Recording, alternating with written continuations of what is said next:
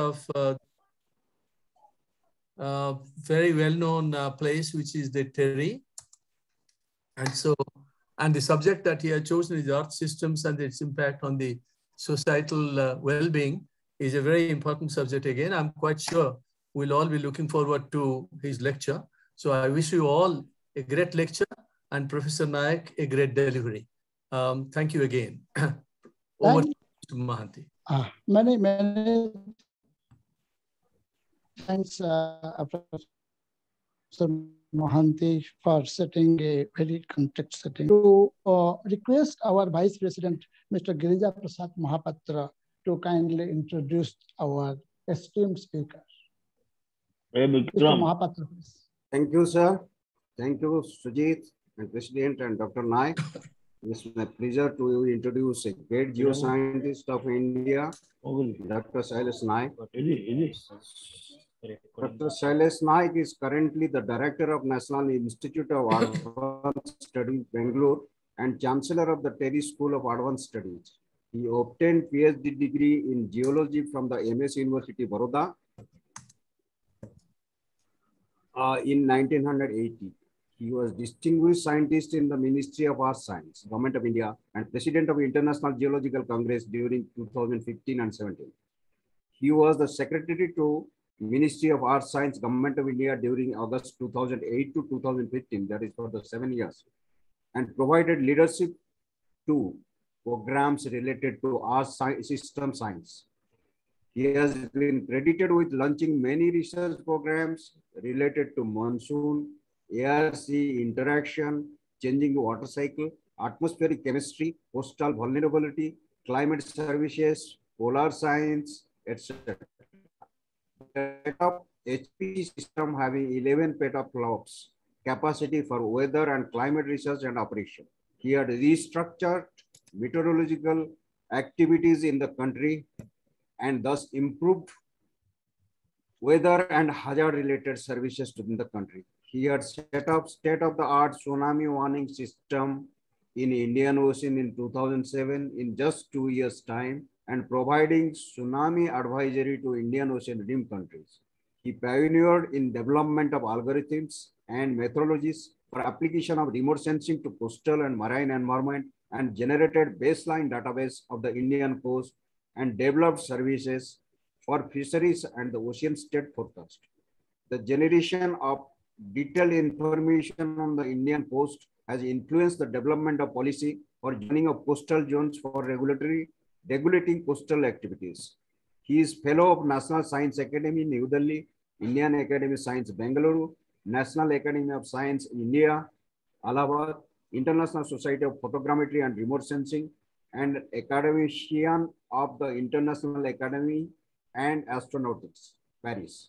He has been awarded honorary degree of Doctor of Science by the Andhra University in 2011, Assam University in 2013, and Amity University in 2015. He was conferred the prestigious ISC Vikram Sarabhai Memorial Award in 2012, Bhaskar Award again in 2009, Harinath Lifetime Achievement Award 2013, R.C. Lifetime Achievement Award 2020, and Lifetime Geospatial Leadership Award 2019.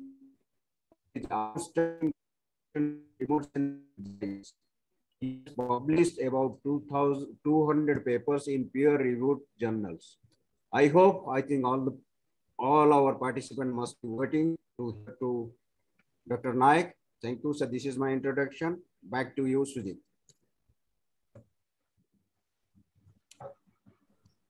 Many thanks. Many thanks, Mr. For introducing our uh, esteemed to the audience. Uh, now, it's my proud place to uh, request uh, Dr. Shailesh Nayak to please start his presentation. His topic is advances in the earth system sciences and their societal benefits. And at the same time, I request all our distinguished delegates, participants who are there, if they want to ask any questions and any queries, they can send to the chat box itself, and that will be answered at the end of the presentation. Uh, Dr. Nayak, please. Thank you very much, Dr. Mohanty, Dr. Mahapatra, very distinguished participants and many of them very good friends of mine.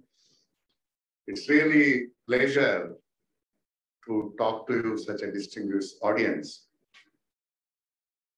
I must uh, first uh, say I'm grateful to Dr. Mohanty for inviting me and giving this opportunity to talk about some of the benefits of the Earth system science. As uh, you know, that uh, this topic uh, about the Earth system science has come up about last 30 years or so. And uh, it takes care of uh, the all aspects of the Earth. That means uh, the all geosphere, biosphere, cryosphere, hydrosphere, and atmosphere. And uh, this uh, basic idea that this science is very important for the country, as of a, what we call as a national importance. And why is it so? So we had uh, set up the what is we call as an agenda for this uh, Earth system science. And there are three main uh, aspects. One, we look at the new perspective in the Earth system, the whatever the questions or scientific questions which we need to answer, exploration, especially in new areas, especially the polar regions or the seabed. And the most important now in last uh, three, four decades is how the interaction between the Earth system processes and the anthropogenic processes interacting and influencing both of them or vis-a-vis. The second is we need to understand various interaction which is going within these processes at a different spatial and temporal scales. That means uh, whatever happening between air and uh, ocean or the geosphere and ocean or cryosphere and atmosphere or some of the processes involves more than one system as well, like our monsoon process. The second is what are the consequences of these interaction and how they are affecting the human systems. And this we need to address with a lot of new ideas and also many times a new technology. Now, these are the two things which normally scientists are engaged and uh, most of the work they do in this. The third aspect, which is very critical, is whatever knowledge we gain from our understanding or discovering of a new phenomena or perspective, how this can be used for the public. And this aspect normally is not addressed. And that is why sometimes, you know, the scientists find themselves away from the society. So we have been trying that how best we can take the outcome of the scientific research to the use them for the societal benefit. And there were many such case studies. However, I will not show you all, but few examples how it has been done. Now, the two important aspects which we have been addressing uh, this century is one is the hazards. Other, of course, is the climate change. But these hazards we have been seeing, also some of them may be because of the impact, their intensity and magnitude might have increased because of the climate change. But this, the hazards, I think one of the most important thing which we need to address. Now, since many of you are from Orissa, I thought, will I start with the cyclone? And you may all remember that 20 years back, uh, roughly 20 years back, in 1999, when super cyclone hit Orissa, almost 10,000 people died. And uh, at that particular time, it was not that the understanding of cyclone was not there or the forecast was not given.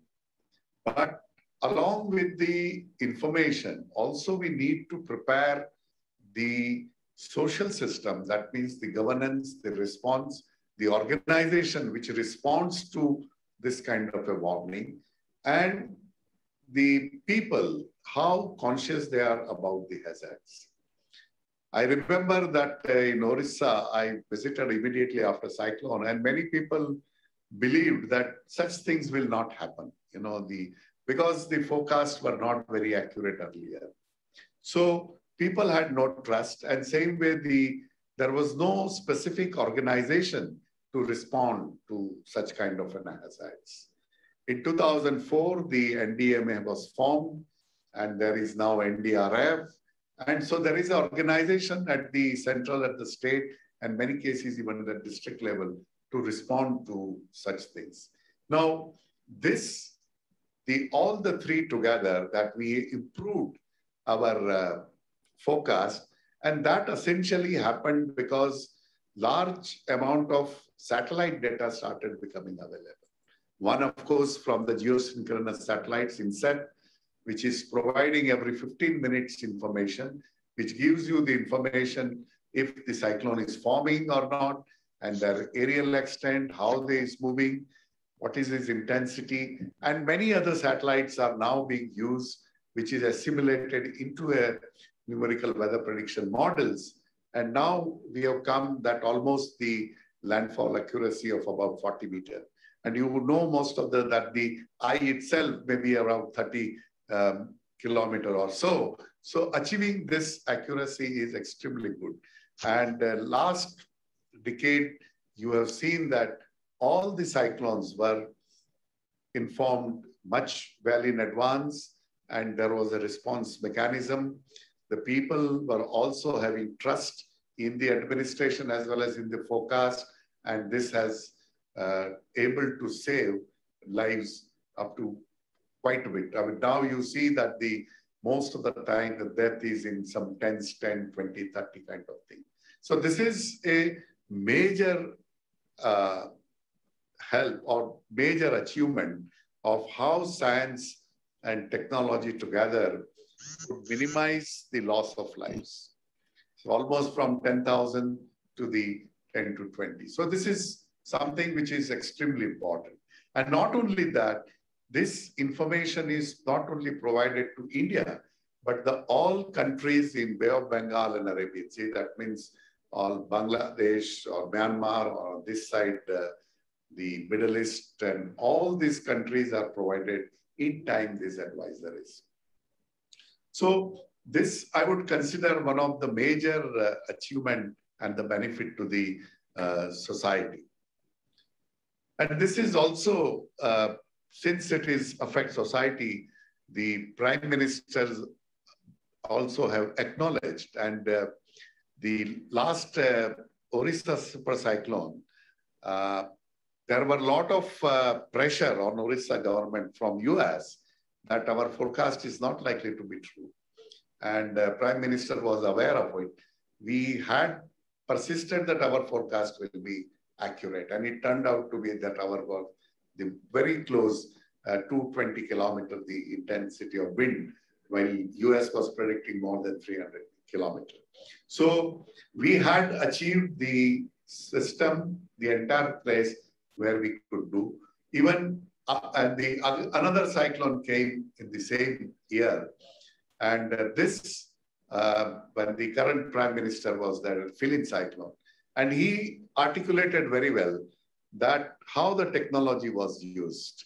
The it was given almost seven days before the velocity be same, the direction, time, and this helped to save the lives. So I think the appreciation at the highest level clearly shows that the how the earth system science has helped to the society.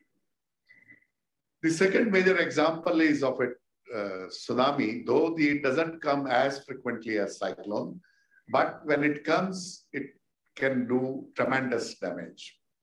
And last time when it came, uh, 2004, we lost almost 20,000 people and entire in Indian Ocean, more than 3 lakh people died. So this is one which is uh, very important to build a system, but there were a lot of challenges. The challenges is the time available, unlike cyclone, which is few days, here it is couple of hours at the most.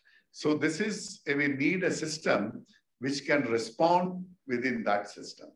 And for that, the most of the tsunami, since it is generated by the earthquake, we depend on the seismic stations and the data and try to process them as fast as possible. When we started, the processing used to take more than an hour. And uh, there is no real-time seismology at that time in the country. So the first thing is we did is setting up of a system which can process the data in a real time. So all the seismic data, all the tide data, the sea level data are collected through variety of means, the satellite essentially, different satellites, and this information is processed into a control center where the another information is available on bathymetry and topography and all such things. And the models were made, it is used, and then the information uh, transferred to all concerned. Now, since as I told you that the time is very short, what we try to do is this entire process is completely automated. There is no human intervention. Today we are talking about Internet of Things, but this was implemented in 2007 itself in India, first time for the tsunami warning system. That entire thing completely machine based and the first information goes automatically. Now, another innovation which we did at that time, those who are familiar with the Pacific Tsunami Warning System and Japan uh, Meteorological Agency's tsunami warning system, they were giving tsunami warning on a basin wise. That means Bay of Bengal or Arabian Sea. And uh, if we have to give similar warning, it is impossible to evacuate people from the entire basin. So we devised a system which we call as a coastal forecast point. So we are now giving a forecast at 1800 coastal forecast points all along the Indian Ocean margin. You can see some of the dots all along the coast. These are the, and the other challenge was that the, if you run the model, it used to take 90 minutes at that time.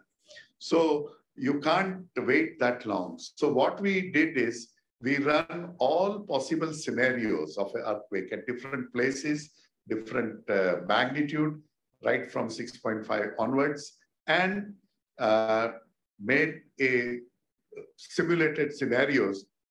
It turned out to be 50,000 in, in number and a huge database of a 15 terabytes. So even the complete decision support system around GIS was made where it can find the right scenario and provide that information to all concerned through web and email services. so this is, the India was the first to use the simulated model outputs and provided location-based forecast for the first time for the tsunami in 2007. Since then, this uh, last 14 years, the system has been working extremely well. And till today, there is not a single false warning. Now, this also was uh, very much appreciated at the highest level by the Prime Minister. He said that uh, the decision to set up the new Ministry of Earth Sciences following Ocean tsunami. So he said that we have an ability to issue the alert within 13 minutes of a tsunami-genic event. Of course, now we have been able to do even better than that. We are giving about six to eight minutes the first information goes. And This also provides the leadership in the Indian Ocean because the information is provided to entire rim countries in the ocean, which is also uh, recognized by the current prime minister. So this is the another example. And now the some of the challenges are still there that the large earthquakes are not being uh, underestimated normally. This is what happened in Japan uh, in, they estimated about magnitude 7.9 instead of 9.1, and accordingly the tsunami uh, was predicted, but it turned out to be quite serious and about 1,000 people died, even though all the system was in place. So there is still a lot of scope to further improve upon it. And now we have been trying to use GP, GPS or GNSS data to estimate the magnitude and convert this magnitude into the uh, rupture into the magnitude and then give the tsunami warning. Also, the inversion of the tidal and sea level data is also in progress and real-time model because of now the computing power has increased. So we are also started with the real-time model.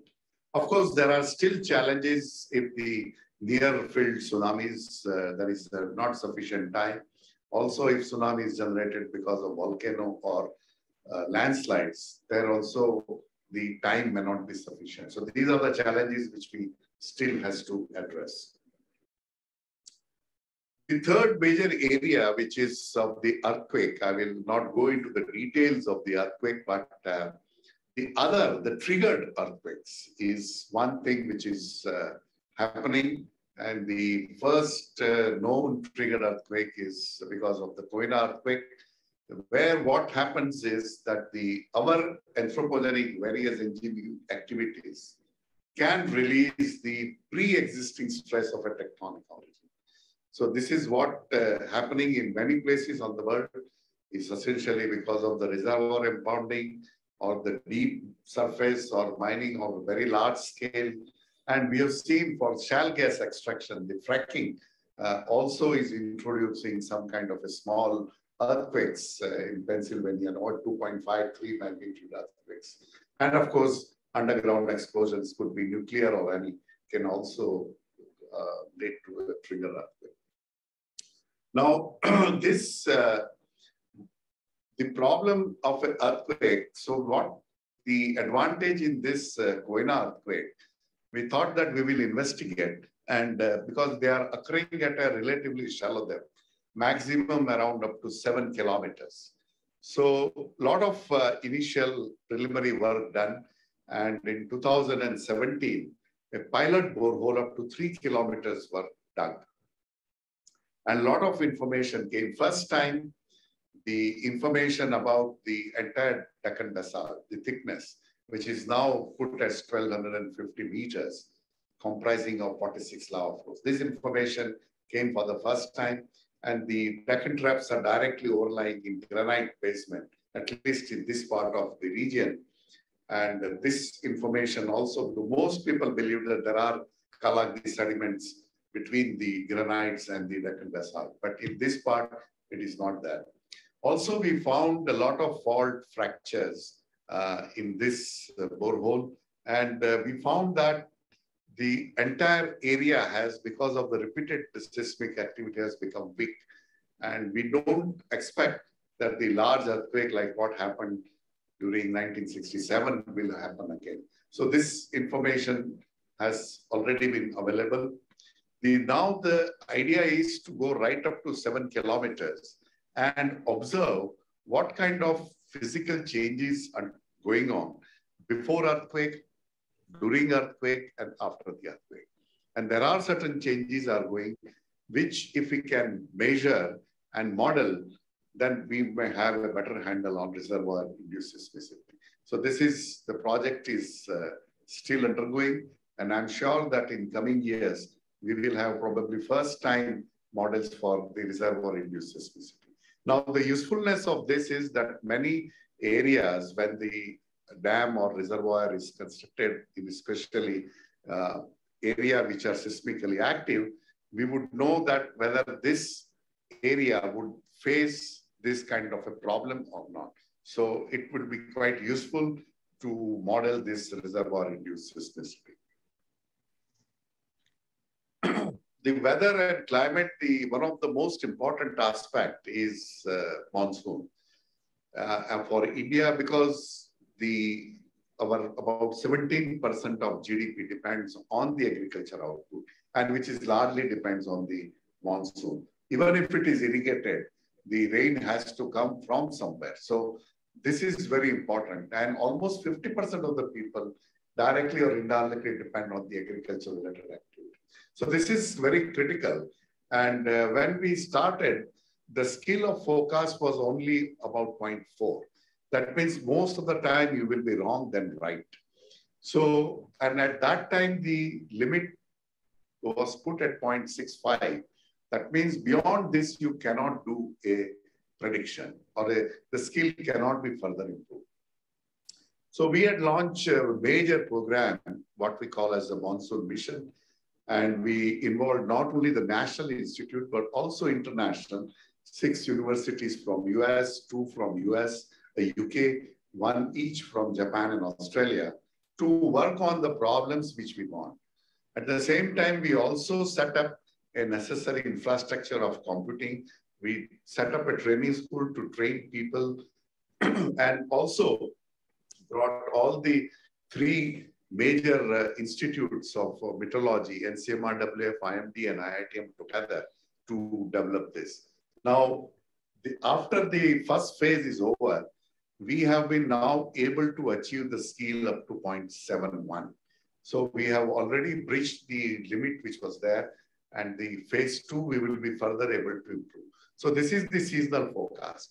But at the same time, we have now given the extended range forecast that is for three weeks before, and also the high resolution forecast, which is for next five to 10 days, which is also have been improved.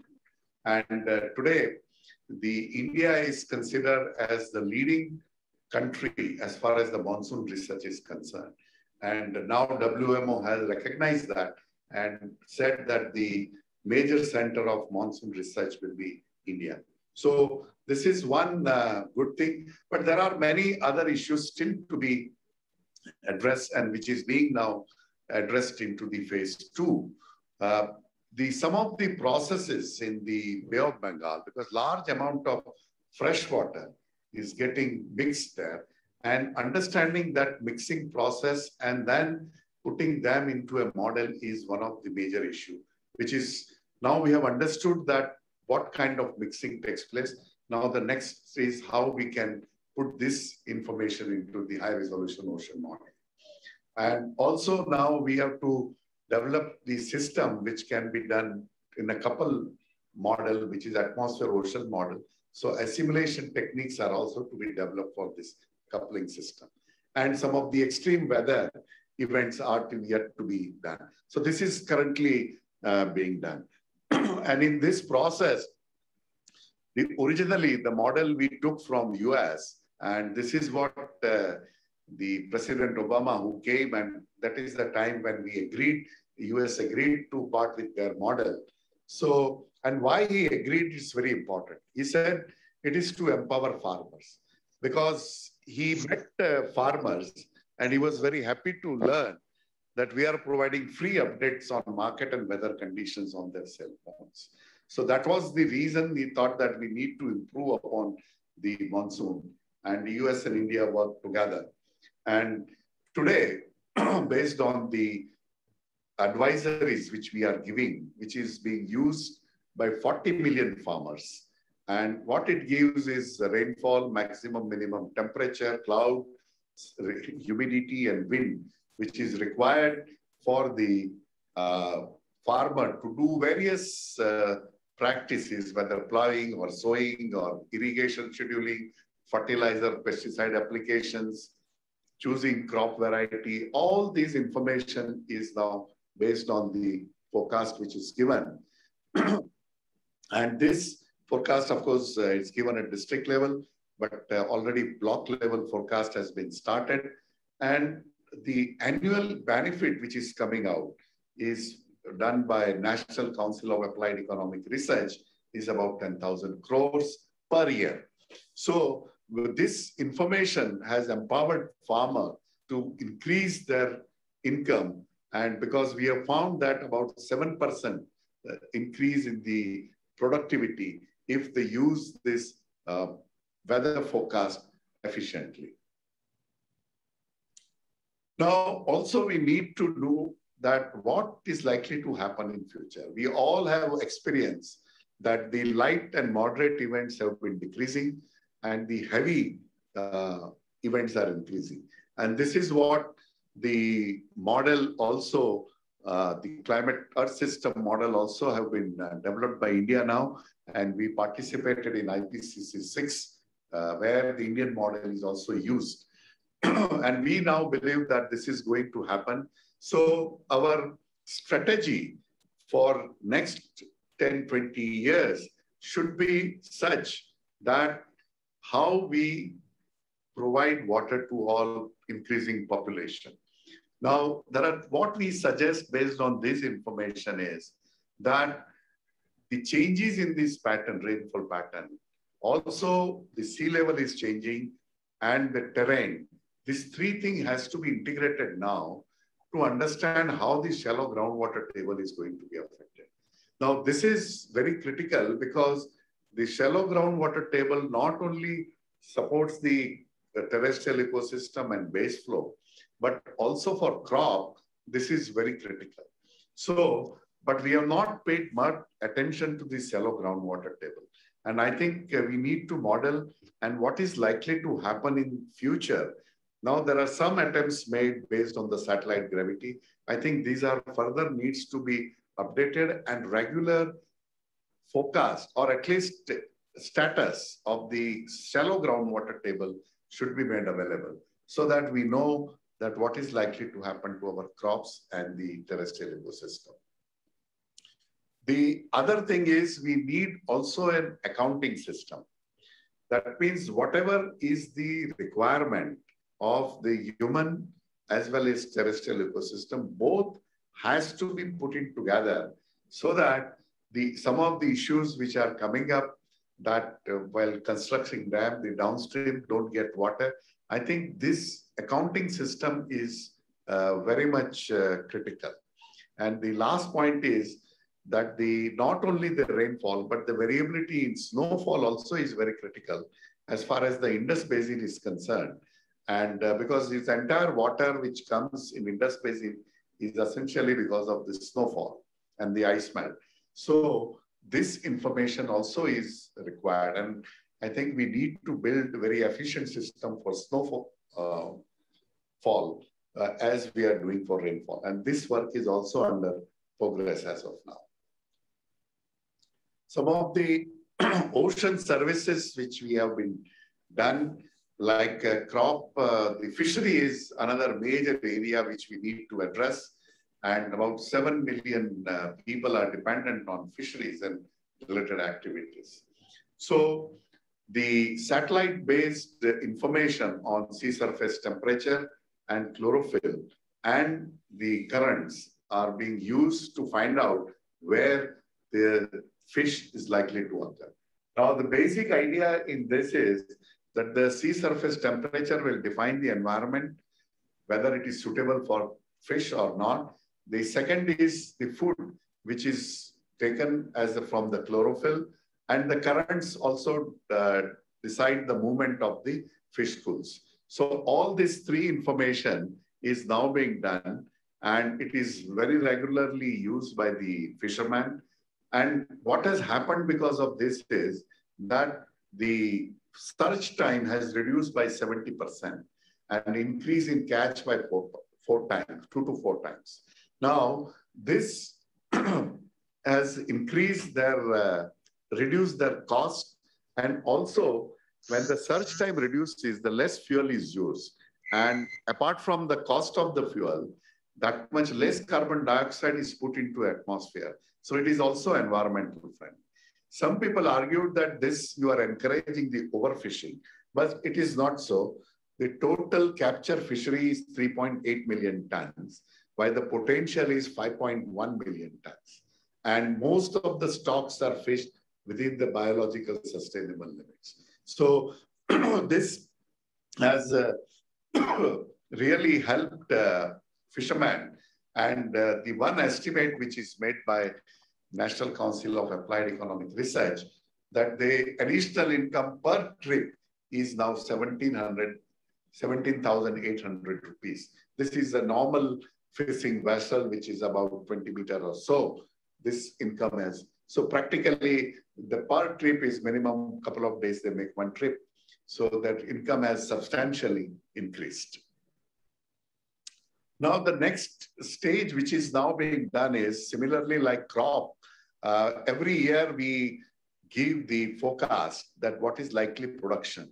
Now, in the fishery, they used to give only for 10 years. But now we understand that the conditions, uh, the physical, chemical, biological processes are not exactly same uh, every year. So we should be able to provide a potential fishery forecast based on the uh, sea surface temperature, chlorophyll, and then how the upwelling and how these things are changing. So this uh, annual is under uh, uh, construction. This model is being developed. I'm sure that in coming few years, we would be also provide season-wise likely fish availability and accordingly the fishing activity can be planned. The another major area is to provide about the sea state. That means the waves, currents, mixed layer depth, and sea surface temperature. And this is used by many, especially all the shipping industry, coast guards, and many others. So even including fishermen. So this now we have a model by which we can give a global forecast, we can give regional forecast, coastal forecast for islands, and location specific, the ports and harbors all this is now possible to give. And this is continuously given for uh, next five days. Every six hourly forecast has been given. And this is being used by many ports and tremendous benefit has come to the shipping, fishing, and also security agencies. The next area is the coast and what is called as a coastal marine spatial planning. Now, this is a one a thing which is a science-built tool for planning the coastal and marine area. And uh, in India, what we are doing, the spatial planning has come through a coastal regulation zone notification, which was originally 91. It was revised in 2011 and 19 as we started understanding this more. And this now, India is one of the very few countries in the world where the spatial coastal zone management maps are available for all the states. And all the developmental planning is based on this coastal zone management plans. And uh, this, it includes uh, many things, the, the status of the coastal habitat, mangrove, coral reefs, what are the shoreline changes, what is the vulnerability, all this. I will show you some examples of this. So this is the kind of uh, basic map uh, which is essentially produced from the satellite image. And uh, it delineates the high water line, low water line, also some of the important land use and wetland geomorphic categories. And this is done by National Center for Sustainable Coastal Management in Chennai under Ministry of Environment and Forest. And this is provides all information to everyone. Similarly, the shoreline change maps for the long term as well as the short term is now being provided by National Center for Coastal Research for the entire country on a routine basis. And this is also very important to understand the impact of the engineering activities as well as the impact of the sea level and to understand normal deltaic processes, especially on the East Coast. This is very useful to understand how delta is progressing and the impact of the anthropogenic activity as well as possible rise of the sea level. and the vulnerability maps uh, also produced using information on the coastal topography, using the stereo images, as well as the LIDAR, aerial LIDAR survey. And uh, this, over these maps, the cadastral maps are also superimposed. So we know that which are the areas uh, and how vulnerable they are. So this kind of maps are also available for the country. And very recently, the new concept has been started where we are started identifying blue flag beaches. So this is a certification process given by international agency based on the UGRO.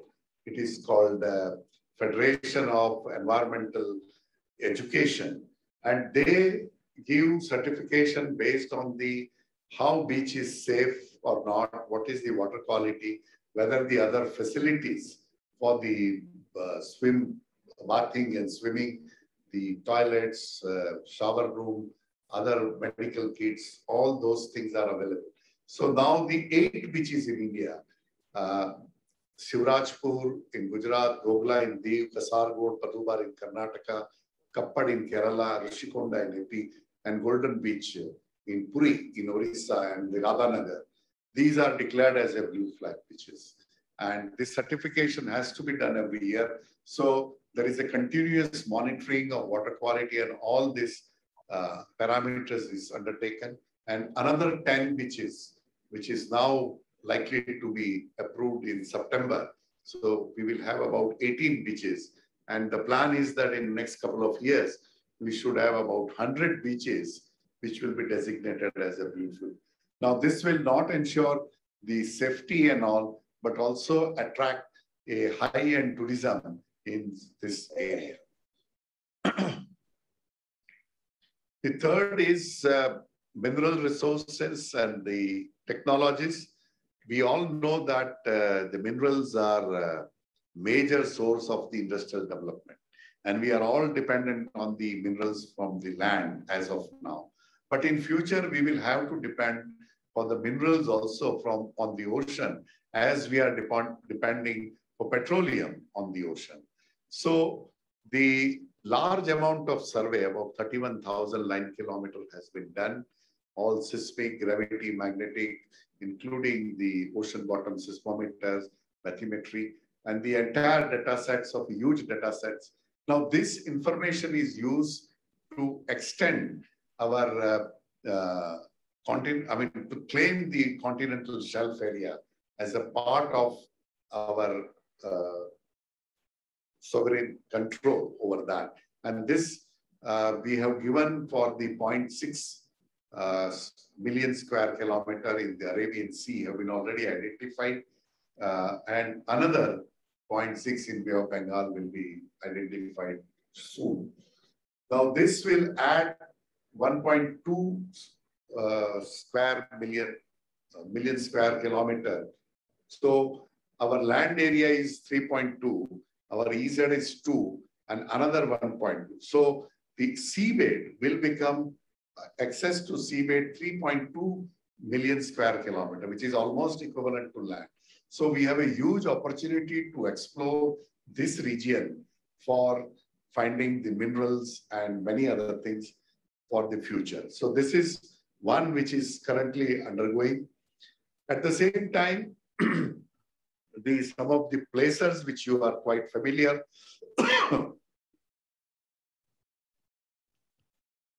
it's a huge resource of uh, placers in our Tamil Nadu, Kerala, Andhra, Orissa, Maharashtra coast, uh, also on the coast as well as the near south regions. And uh, this is total is almost about 380 million tons of different kinds of minerals. And ilmenite especially is a very high, about 22%. Now here, the certain things has not happened is that though the Ministry of Mines have identified five minutes by five minutes, I think the further exploration is not happening because of various reasons. The issues between Ministry of Mines and the state government, the contracts between the private explorer and so this has not been realized. But the total value as of now could be 150 billion. So we are ready with all the techniques, mining, beneficiation, but this resource is yet to be harvested. Similarly, on a deep sea, for a long time, we have been exploring the polymetallic nodules in the central Indian Ocean. And uh, uh, we have now identified a site 12.5 kilometer by 12.5 kilometer as the first uh, mining site. The beneficiation and all has been done and uh, almost 95% of the uh, metal could be recovered and total value is put at 187 billion. So this is a huge resource, but uh, to mine them, you need a technology. So I will come back to that slightly later. The second is the polymetallic sulfides, which is associated with hydrothermal vents, is also very important. And uh, along with copper, lead, zinc, you also have a gold, silver, and many other metals. So this is exploration has been started in 10,000 square kilometer. And soon we would uh, have the, some of the vents have been already identified, but there is further work is yet to be done. Second, the last is the cobalt is becoming very critical mineral now, and we don't have a resources on land. So the uh, ferromanganese crust where the cobalt percentage is pretty high, uh, as high as 0.9%, uh, has been found. Now the exploration rights for this are being now taken and then we will be further exploring this. Now, the important thing that these all are available beyond 3000 meter, 4000, 5000, 6000 meter depth. So the technology which you need is also quite different.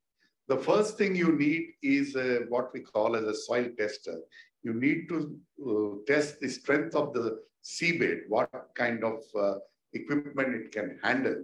So this soil tester has been developed and it is uh, tested up to 6,000 meter. It is working very well.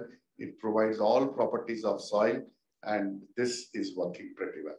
The second is remotely operable vehicle, which is on the right side, which is something like a satellite, which can hold the payload of 150 kg. So you can put any sensors uh, which you want to measure for oxygen or a temperature or a chlorophyll or whatever you want to measure. You can put a uh, sensor, it will give. And also is the robotic arms to collect the sample. These also have been tested up to 6,000 meter and working. The next thing is the mining equipment, what we call as a crawler for the manganese. It will collect the nodules from the sea surface and crush it and make a slurry and push it upwards to the ship. So this has been tested up to 1100 meter. The, this season, I think it will be tested up to 6,000. So in a couple of years, I think we would be ready. But this is not enough. Actual mining, you need to do many more things because then this kind of a technology has to be transferred to industries and also the techno-commercial aspects, environmental aspects. So many things are to be done.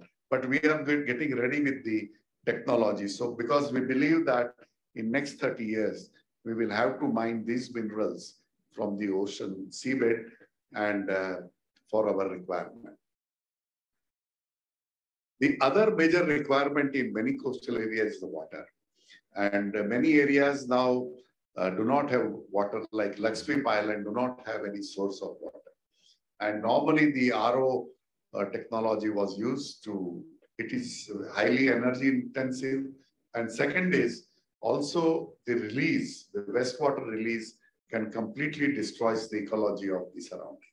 So the new technology, low temperature thermal desalination has been now evolved and uh, which is very simple technology as such science is very simple. The surface water is brought to a chamber where it will further evaporate and the evaporates are taken into the next chamber and uh, there it is cooled by bringing water from the depth of 800 meter and you get a fresh water. So science is very simple, but the engineering is quite complex. And this has been done in three islands of uh, Lakshadweep, which is working for last 15 years without any problem. And uh, the major advantage uh, of this is that the health related issues of Lakshadweep islanders is, has been resolved up to 90%. And uh, the cost of per liter is only 62 paisa. We always buy 10, 15 rupees bottle a liter. So this is quite cheap. And the challenge is now how to scale it up. These are very small plants, 100 100,000, 150,000, which is sufficient for the population of uh, 5 to 7,000 on each island for the drinking water needs. So if we have to supply a metro like uh, Visakhapatnam or uh, Chennai, we need almost 10 million liters per day. So this plan, this plan is already been made and the cost will come out about one rupee per liter. But the engineering part is a major challenge and that is being addressed now. The energy resource also is now we are going to depend on the gas hydrate. Uh, we have huge resource of uh, gas hydrate. There are possibility of offshore wind, wave currents. These are at different stages of development. I will quickly go through them. The large reserves of uh, gas hydrate have been found in uh, East Coast on the Godavari, Maha, as well as uh, on the Andaman Nicobar Islands. The main thing is how do we develop the exploiting technology? Because these are a solid gas, solidified under pressure. This is a methane gas solidified under pressure. So we have to mine also with the same pressure. So we need to build pressurized mining equipment. And that is where the challenge is. And now I think uh, this is being addressed. The next is uh, some of the on the polar science, which is a very long shot, not only for the uh, resource, but also for the environment and especially for the water, the glaciers and the snow are very critical. And we know that these glaciers are retreating, uh, which is, but in the western, they are retreating slowly, while in the central and eastern, they are retreating much faster rates. So this is, of course, we know that the western is mainly dependent on the western disturbances, not on the monsoon. Well, central and these are dependent. But we need to understand much more that why there are differential rates of the uh, retreat. The second thing which I told briefly, these estimates of the snow.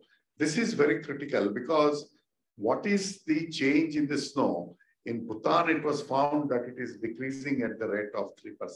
But we do not have data on the other parties, especially in the Indus Basin, whether the snowfall is increasing or decreasing.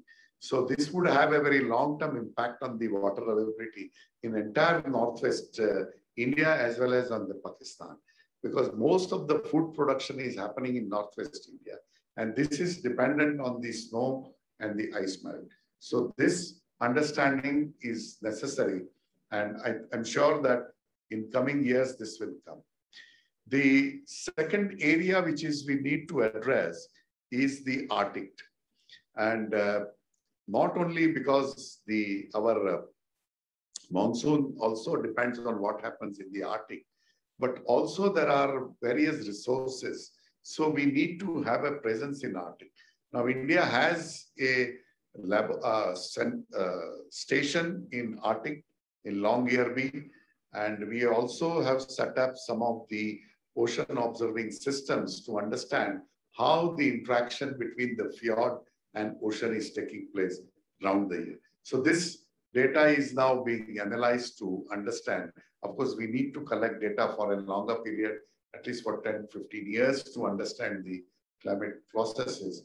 So this has started in last seven years. So, but wealth of information has come from this information. Now, many have been arguing that why we should be in Arctic. Now, the one thing which is very clear is that what happens in North Atlantic and Arctic has been established. In Holocene, we have seen that the monsoon weakens when the cold episodes in Atlantic and the Arctic. So this is the one region. Also, the whatever happens in Northwest Himalaya, the heavy rainfall events, also we have found that the Canadian Arctic, there is a further melt in the Canadian Arctic. So and if that melting occurs, again, it will create a separate kind of a system in the Arctic. So both the Himalayas and Arctics are interacting and we need to understand. So that is the first thing. And since we have only one station currently in uh, Norway, the second station in Canada is uh, being set up, but we also need uh, stations in uh, Greenland and Alaska.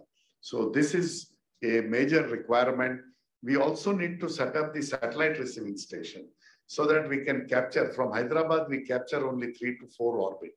We need to capture 10 to 11 orbits for real-time information. So this is the another thing. Also, the access to critical metals and rare earths, uh, especially in Greenland, this we also need for our requirement of future. So we need to also your shipping routes uh, in the Arctic, also the seabed survey. The, so there are n number of uh, opportunities. So India has to be have a presence in Arctic. We have now a station, but we need to increase our activities in the Arctic. and the similarly in Antarctica also. Currently, of course, the, our interest is mostly scientific.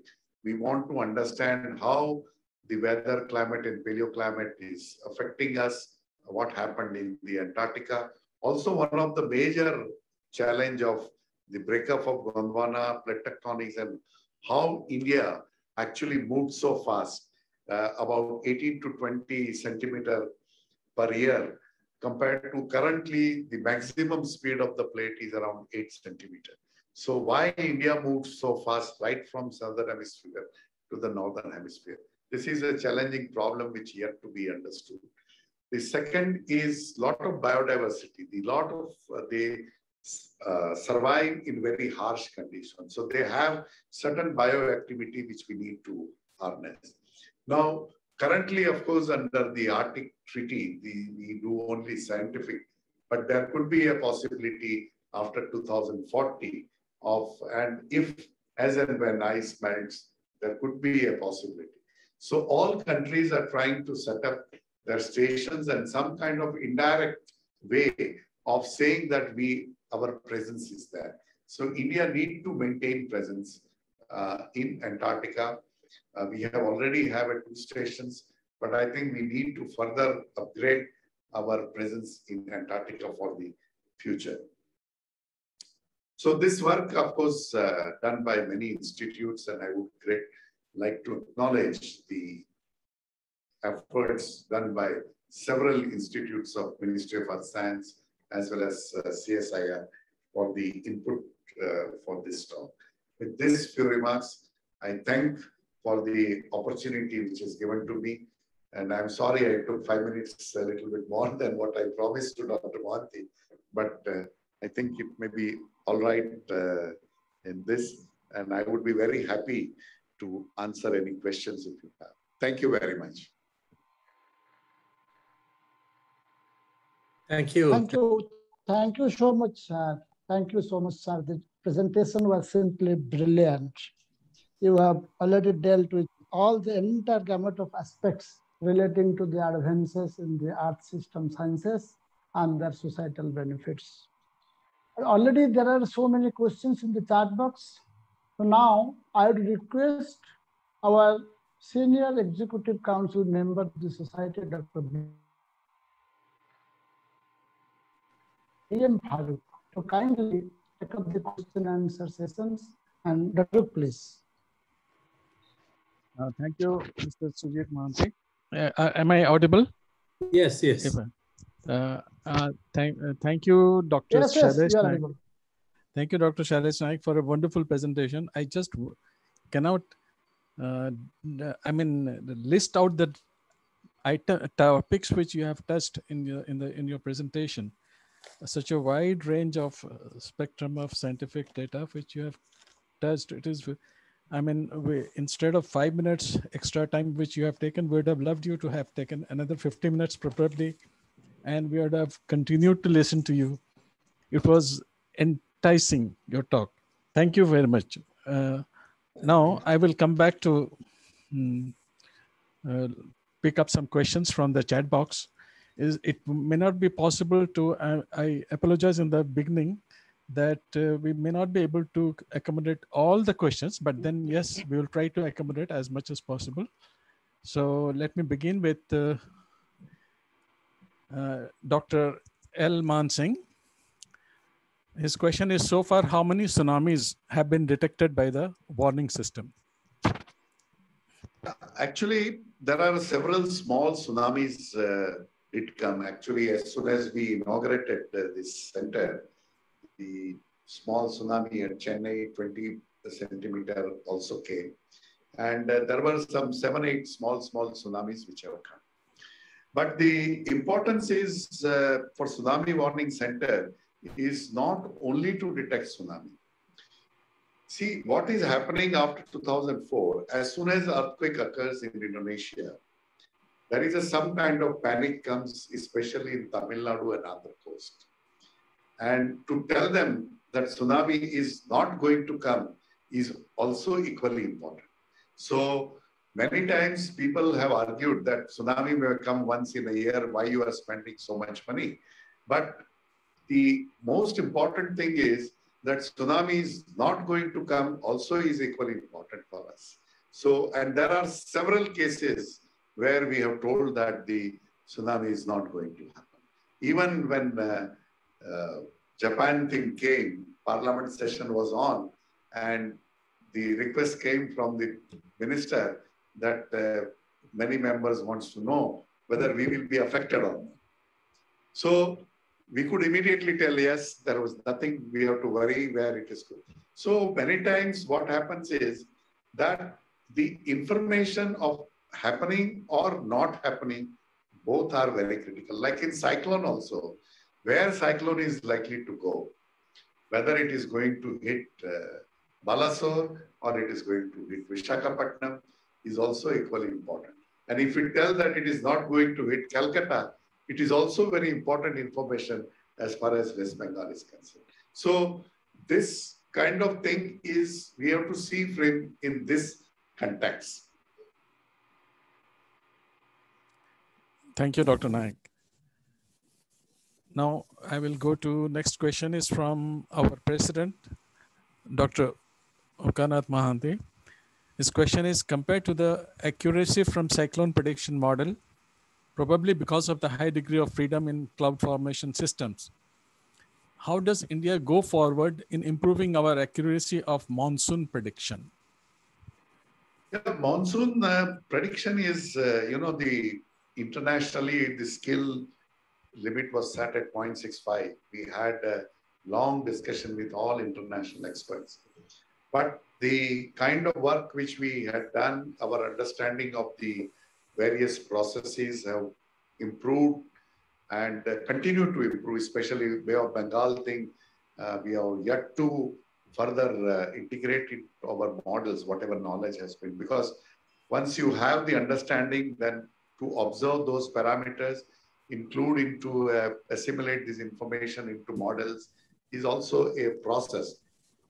So I think another uh, five years or so, we would be able to take uh, the seasonal forecast 0.7 to 0.75 to 8 uh, at that skill, which is quite good enough. Uh, once you have about 0.8 skill, um, that means most of the time your predictions will be pretty good. But the challenge would be then not only the all India forecast, but the regional forecast.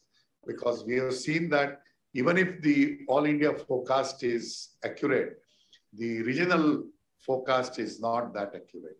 So we need to further uh, build up our understanding of the regional forecast.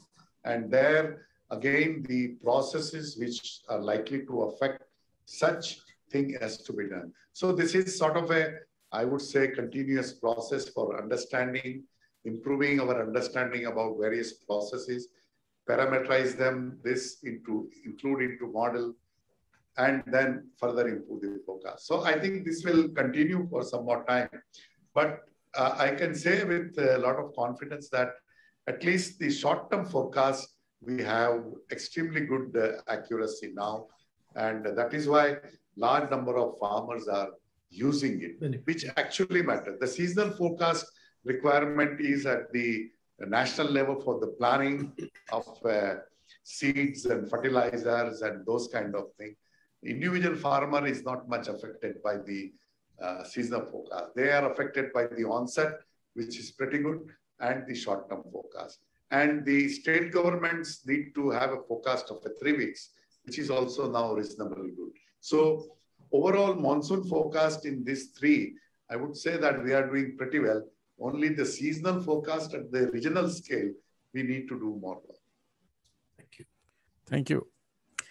Now we have next question from Dr. S.K. Vadavan, our ex-DG from GSI.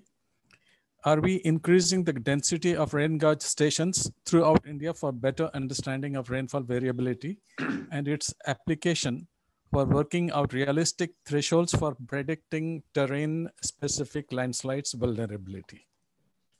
Yeah, the see the problem is uh, twofold. One is if we even if we can increase the rain gauges, uh, technically there is no issue. But the problem is that as you increase the number of rain gauges, calibrating them also is issue. And if you want to include this data into the models, uh, you need calibrated data sets. So currently the calibrated data sets available about 1500 data sets is quite sufficient. The other thing what we have been doing is assimilating large amount of satellite data, which is also provides the rainfall. So now about 48 satellite data is assimilated every six years, uh, which totally about 400 GB data is assimilated routinely. So which also improves the information which is locally uh, available. So initial conditions are now pretty good, uh, which we have been able to get uh, along with the in situ measurements as well as the satellite measurements. Now, as far as the landslides are concerned, I think we can definitely have a more uh, rain gauges locally, and they need not have to be really calibrated uh, for assimilation into the models. But we need to work out a threshold for different regions that what kind of a rainfall or what kind of a rainfall intensity is likely to induce the landslides. Once we can understand that, and if we have the input on the soil moisture, which is also now available not at the level that we need, but at a cross level from the satellite about the soil moisture. Uh, this both the information about satellite and the ground information on the soil moisture, if we can integrate, I think we will have a major handle on landslide prediction. But at the same time, we also have to remember that landslide can also occur during earthquake. So that part will still remain unsolved unless and until we have a vulnerability maps. Now, there are so many vulnerability maps, landslide vulnerability maps are available, including GSI, ISRO, and uh, Wadia Institute, and you name the number, the landslide vulnerability maps are available. But uh, I could not find where the validation of these maps are done. So what is happening is that we are not able to identify which are really vulnerable and use certain observing system in these vulnerable areas. Unless we put observing systems in the vulnerable areas, we will not going to handle the earthquake. Any hazard if you take, we have the observation. Why we are able to do cyclone? Because we have observation. Why we are able to do extreme rainfall? Because we have observation. So for landslide, apart from the uh, rainfall, we also need measurement of a small changes which are occurring. And that can be also done by using the SAR interferometry, where we can see the small movement which is occurring, which normally happens even before the uh, areas, but you can't do this everywhere. So we need to have a plan that in vulnerable areas, we increase our observation. There are other radars also which can uh, we can put it to observe the changes which are occurring, but we can't put everywhere. So if we can identify vulnerable areas and make these observations, I think uh, the landslide predictions will become very simple. And I agree that we need to address this issue because actually there are more people are dying through landslide than the cyclone. But because the individual landslides are small and less number of people die. So the attention is not there like what happens in a cyclone or a earthquake. Or, so our attention is also relatively less for the landslides. Thank you, Dr. Nayak. Our next question is from Dr. Jayant Rautrai. Dr. Rautrai, your question is too big, so I'm going to focus only on the question, not the background which you have mentioned. The question is, it is important to know that India is following sim simulation models by coastal focused points. What is the degree of accuracy and reliability as compared to Japanese early warning forecasting system pertains to tsunami? Yeah, our actually, uh, our uh, system is much better than any system in the world today, including Japan or because nobody gives uh, precise every 50 kilometer forecast. We are only giving this forecast and over a period of time, uh, there are uh, incident when uh, we had two earthquakes happened in Bay of Bengal. And both the time, Japan and Pacific gave warning that Bay of Bengal will have a tsunami. And we said the tsunami is not going to happen in that. Of course, later on, they had withdrawn their uh, advisories. So I would say that the accuracy of our system is much better than any other system in the world. And in the terms of uh, uh, numbers, uh, the like Chennai, some of the where we have actually measured, uh, if you can send me your email, I will send my paper also on the performance. Uh, 20 centimeter we had predicted and it turned out to be 18 meter. And the time difference was about three minutes. So it is pretty good uh, accurate system which we have. And uh, if you if you can access uh, the Encyclopedia of Geophysics, where the tsunami warning centers uh, is example of the Indian tsunami warning system is there. And there the performance and all other is given. But very precise information I can give. If you just send me an email, I will mail you this information. Thank you, Dr. Nayak. Uh, Dr. Nayak, I have to apologize for one reason. I'm not reading out the compliments that is coming with all the questions to you. So I'm just filtering out.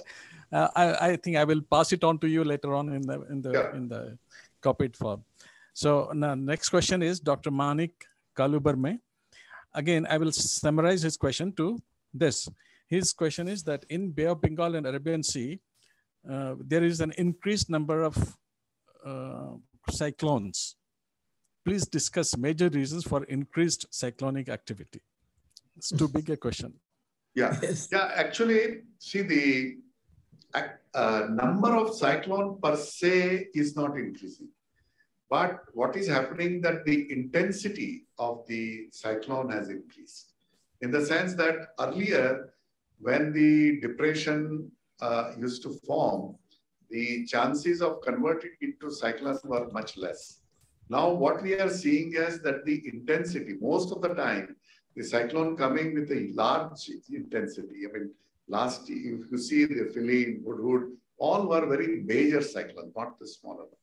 Now, the reason for this is what is happening is that the as the warming happening in the atmosphere, the most of the heat is being absorbed by the ocean. Almost 90% of the heat is absorbed by the ocean. And the ocean is heated up not on the surface, but right up to 2000 uh, 2000 meter depth. And this increase, that means there is an additional amount of uh, energy which is stored in. And this has to be dissipated. So the cyclone is the mechanism by which oceans tries to dissipate that heat into form of this. So that is why, because of the increased warming, because the normally if temperature goes above 27 degree in ocean, the possibility of cyclone increases. And such incidents are increasing day by day. The second reason in Bay of Bengal, the, there is lot of influx of a fresh water. And the fresh water absorbs more heat compared to the saline water. So since there is a large amount of uh, fresh water, the Bay of Bengal generates more cyclone than the Arabian Sea. So this is the combination of this reason. I mean, this is the simplest way I could uh, explain. Of course, the entire exchange of process is very complex. Thank you. Thank you, Dr. Dr. Nayak. Uh, our next question, I think we will have to be very, very, you know, selective here. We may not be able to uh, collect, uh, connect all the questions. Now, next is uh, Mr. A.B. Panigrahi, our secretary from of SGAT. His question is, he wants to know the prospects of uh, uh, mm, generation of uh, energy from wind on the east coast of India? What are the prospects? Yeah, actually, there is a map you can see on the INCOI's website also. The major is the Tamil Nadu coast as of now and the Gujarat coast. These are the two main areas where the possibility is maximum because you have to see that the wind of certain level available round the year. So that is what offshore, uh, this is what is now being, these two areas are mainly going to be considered in the initial phases. Okay. And one question from Dr. Subhranshu Rai, uh, retired DDG from GSI. Has the impact of deep sea mining on marine biota been properly assessed? Yeah, it is. It is being because that is the first thing which we will to do, and uh, there is an entire book on the environmental assessment of the deep sea mining. The there are different uh, scenarios are generated, like uh, in case of a say manganese nodules, uh, what is likely to happen? It may generate a turbidity. What will happen to the biota? Uh, and uh, and the to our surprise, uh, at that depth also there are megafauna. Uh, earlier we used to believe that there will be only microbes maybe surviving, but there are megafauna also. So this assessment is being made, and it would be like any other uh, mining on the land uh, the International Seabed Authority will ask uh, for the very detailed assessment of the environment. So while we are exploring this, the current conditions of the environment and what is the status of the ecology is parallelly being done. So before mining, I think we will have to provide all the likely scenarios uh, that what is likely to happen. And definitely when you mine, uh, things will be affected. There is no doubt about it. But how much it will be affected, what likely uh, time it will take for the, or whether there is any resilience in the system once you stop mining, whether the biota will come back or not. All these analysis and simulations are being done. There is another question from Rajesh. Uh, I don't know, Rajesh um, full name is not there. There was a project. His question is: There was a project Kalpasar project launched to store 10,000 million cubic meters of fresh water, equating to 25% of Gujarat's average annual rainwater flow from the rivers like Narmada, Mahi, etc. What is the progress of this project? Why not we think about such projects in the Bay of Bengal? Uh, in Bay of Bengal, I don't think it is uh, feasible as of now. But in Kalpasar, uh, this uh, already planned. I think they are agreed to construct a dam and a freshwater lake to be created, which may take five, seven years to become a freshwater because originally this brackish water has to progressively. So, but uh, in Bay of Bengal, I don't think uh, it is going to be feasible. Uh, and there is no need also because the water availability is much better because of the large river systems. The freshwater availability is quite good. And the like in Chennai and all where there is a issue in southern area, I think the doing offshore desalination plant may be much easier to do and simple compared to constructing any dam or blocking some area uh, and to do that. That's what my feeling is. Thank you. There is an observation by Mr. Khuntia. He says that there are huge reserves of deposits of uh, heavy minerals on Kerala and Odisha coast, and of course there are also on Andhra Pradesh coast. And he feels that uh, the Odisha Sand Complex and IRE, what that working on them need expansion. That is a, a, a statement, observation. I think there is no, no yeah, question. I think I agree. And I think the sooner the better if the Ministry of Mines and Atomic Mineral Division sort out all the issues uh, which is the atomic mineral, which is not, what is to be done, what is not to be done. I think uh, that is where I think the whole thing is in some kind of a uh, loop. And I think we need to come out of that if we need to harvest uh, this resource. I think uh, we will have to call it a day because uh, there is no end to going on with this like this. You know, we have already exceeded, taken 27 minutes extra of uh, what we had promised to Dr. Nayak. So I think we will come to the end of this uh, questions and but only thing I will wrap it up with one observation. Uh, you know, recently we had a you know, on 11th of August, there was huge uh, tremor in the in the media about uh, uh NASA giving statement that uh, the vulnerable coastal tract of India and coastal belt of India, which is going to be submerged in the coming till 2050. I I was really shocked, shocked in the sense, in 2006, uh, I think if I remember correctly, the name of the scientist, I may be uh, making mixing up, uh, Dr. A.S. Rajawat from Space Application Center had given a presentation in Geological Survey for India CGPB meeting where he had given a map for the entire 70 7,200 uh, kilometer coast of India, where we have vulnerable areas which was likely to be inundated by the sea level rise in future. And this was quantified. The area that extend the level above the present sea level all those things were mentioned in the in that uh, presentation. And he had uh, given a map.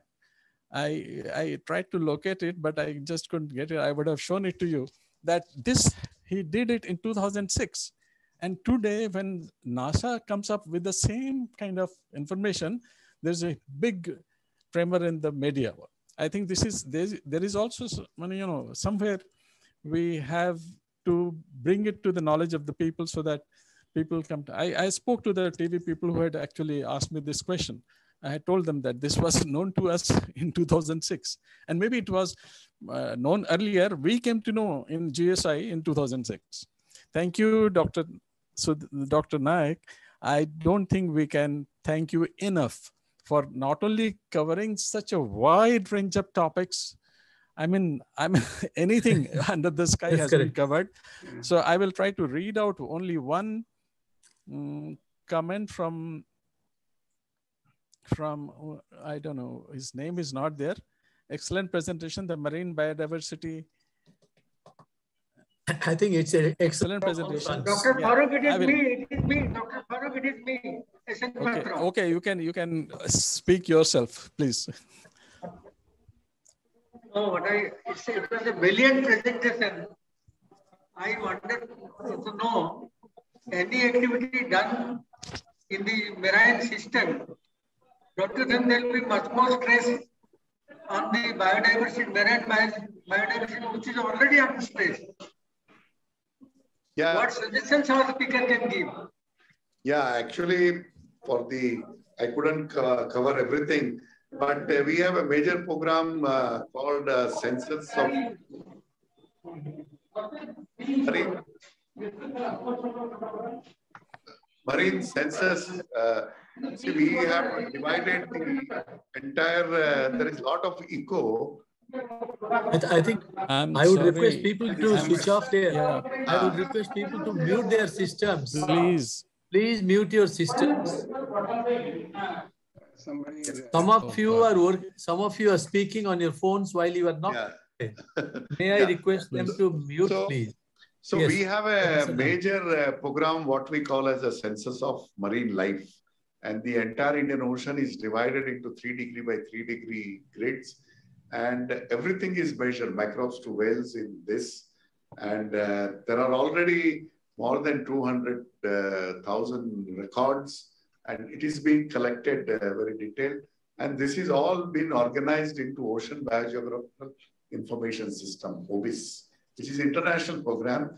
The Indian program is handled by Center for uh, Marine Living Resources in Kochi. And uh, this all data is available. And the lot of new species and lot of information, actually, the one whole lecture can be given on the census of marine life. And a lot of work uh, has been done. We have, and the all other countries also providing uh, the information on the marine biodiversity to uh, this data center. So large amount of information is uh, being collected, but it's a Herculean task. And uh, this is to be repeated like a census we do of every 10 years. Uh, we also have a plan to replicate every 10 years so that we can understand the changes which are already going on in the uh, biodiversity can be recorded. And uh, some of those things like uh, major fisheries species, uh, we have been working especially sardine and mackerel. Uh, those uh, who know that earlier it used to be available only on a Kerala and Karnataka coast till 85. After 85, uh, there are a lot of, uh, in Kerala, people are complaining that there is not much uh, fisheries available. But this sardine and mackerel have shifted right up to the Maharashtra. Last year, Maharashtra has a record catch of a sardine and mackerel. Also in the East Coast now, Tamil Nadu and Andhra are reporting a sardine and mackerel. So changes are going on. Because of the ocean warming, there are changes occurring in the way the upwelling and the suitability of this species for their environment. So we have been seeing this and many more species also may be happening. Actually, the other thing which is happening is on the Kerala coast, the occurrence of jellyfish has increased. And jellyfish also depends on the phytoplankton, like uh, sardine and mackerel. So the, there is a competition for the food also. So if jellyfish increases, sardine and mackerel also will uh, decrease. But some says that the warming increases, the jellyfish also increases because they have more resilient in a warmer water. So um, there are so many observations which are happening and uh, we have fairly good idea, but I agree we need to do this census every 10 years, uh, like what we do for the population on the land. I think then only we would be able to understand the complexities which is uh, undergoing. Uh, thank you so much. I think we will yes, now come to the end. Come to the question. Hello, Dr. Nayak. I wanted to know why you had that logo of Chitty, the the. Uh, who is speaking, uh, please? The um, please, uh, uh, may, may I know who is speaking, please? The Garuda, Garuda Chitty on your all slide. Yeah, yeah, yeah. This is the logo of a NIAS. is uh, taken from Sulbasutra and uh, it is, uh, you know that it's a Vedi. Uh, yes. It is when those who want to go to heaven, the all Vidis have to be done by constructing this Vedi. And this is actually uh, 6th century, but it has a lot of uh, science in it actually. Uh, no, actually, it is it is earlier than 6th century and it is from Vedas. Yeah, original Veda, but the Sulba Sutra came uh, in the 6th century, uh, roughly around that time. Uh, that is Manasara, Manasara Shiv Sutra. Okay, and so we, I think we, uh, uh, Mr. Farooq, uh, who is Mr. who is taking over from here? Or we, yeah, I think Mr. Yeah, A.B. Panigrahi. I, I, I, like to, I just like... want to thank you before you say and I go, I brought the ATS 6 to India. I set up the National Remote Sensing Agency, great, great, Bhaskara, and the subsequent satellites. Thank you, thank Dr. you so Nayak, much, Mr. It is Salma. a pleasure to hear you. Thank you, thank you, thank you so much, Mr. Salma. I would, I would profusely thank Dr. Farooq for very nicely moderating the question and answer session. Yes. And, uh, and this uh, enthusiasm of these uh, distinguished participants is going high. But anyway, we are constrained to end somewhere. Now, now I would request our General Secretary, Mr. A.B. Panigrahi, to propose a formal vote of thanks. Mr. Panigrahi, please. Uh, before Mr. Panigrahi speaks, I just want to say we cannot thank you enough, Professor uh, Nayak. But yes, that is a great. We will certainly attend. I think we'll all clap. Yes. Yeah. Mr. Panigrahi. Thank, Thank you. very much. You have to unmute yourself, Mr. Panigrahi. Mr. Panigrahi, please, you have to unmute yourself.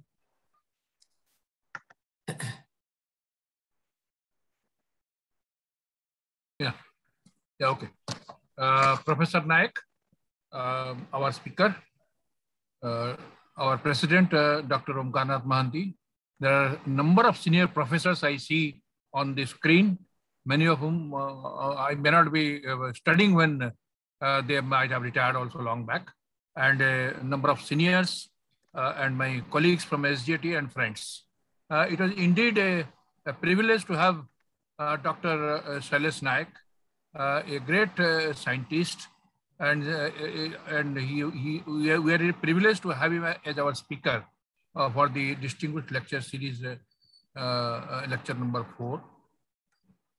Uh, his insight to, to, the lecture was full of wisdom and information, and we have been uh, enlightened by his enlightening lecture.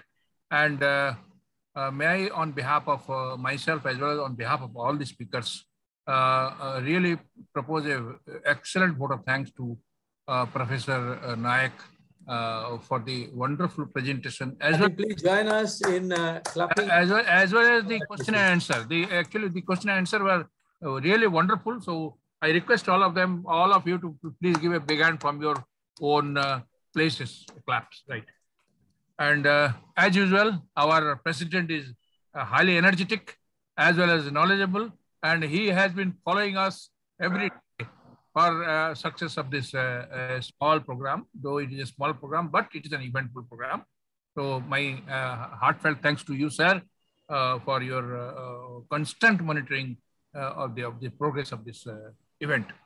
Then my uh, sincere, most sincere thanks to all the seniors, the participants from India and abroad. There are, there are a few persons from abroad also Professor Mansingh, I know one of them, and I think Professor uh, Mansingh is here. Yeah, Professor yeah. Mansingh. I think Professor some uh, Professor Sharma or somebody was also there. He said he is right now in the United States. So and all the uh, participants for sparing their precious time to attend this uh, uh, really uh, excellent presentation from Professor Nayak. I'm really my most sincere thanks are due to our colleagues, Sri G.S. Puntia, Sri uh, Prasad Mahapatra, uh, Professor uh, Dr. B.M. Farooq, and uh, Sri Sujit Mohanty, and Dr. Rajgopal Mohanty, who has been doing all this IT part. And we are, for the first time, managing everything on our own. We have not taken help of any professional help. So we have our own. I really am thankful to each one of you and the uh, distinct lecture series group who has been doing all the constantly monitoring how it is to be done in a uh, near perfect manner. And my uh, uh, thanks to all our all our um, colleagues from SGAT who have also participated, the EC members, the advisors, and everybody. Uh, they have been really it is a, it has been really a wonderful uh, lecture uh, to hear from Professor Nayak.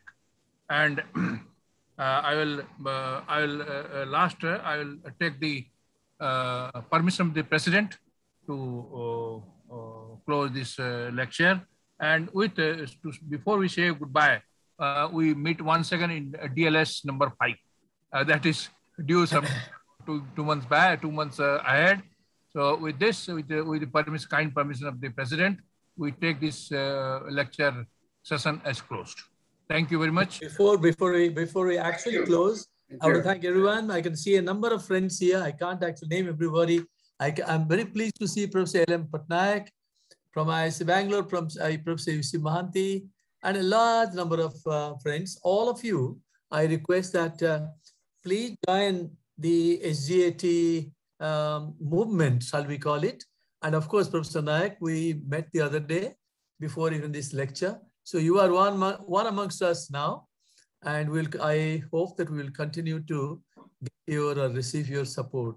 Thanks very much. Good night, everyone. It was a pleasure meeting Professor uh, Mohanty after a long time, virtually. uh, Director Professor Shailesh Nayak, sir. It was a wonderful talk. Thank you, sir. Thank you, sir. He's your neighbor. yes. He's your neighbor okay. in Bangalore. Yes. Yeah. He's my boss. Yeah. I work in his lab. Oh, okay. I see. I work in NIAS. Okay. Oh, you are working in NIAS. Great. Yes, yes, that. yes, yes. Very great to know that. Very nice. Very I'm nice. an adjunct professor and NASI senior scientist there. Okay. So he has been kind enough to Thanks. encourage me. To it's our pleasure, sir. yes. Okay. All of you. Bye. Okay. Bye. Thank you. Thank you. Good night, Good everybody. night, good night, sir. Bye. Bye. Good night.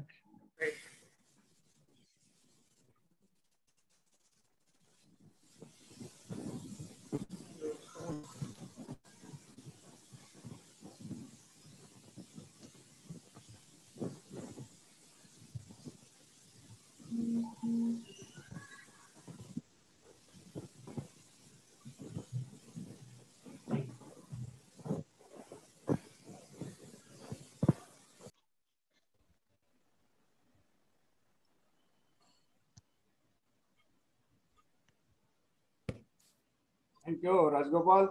Okay, thank you. Thank you Thank very you. much. I Thank think you, you are thank- very nice.